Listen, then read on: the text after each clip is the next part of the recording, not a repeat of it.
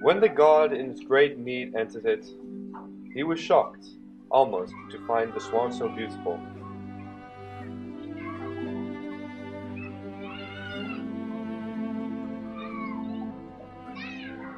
He disappeared inside it, still surprised, but his deceit propelled him towards the deed. Before the senses of that untried life could be explored, and the unguarded woman saw at once who was coming in the swan, and knew too well, he begged that thing of her.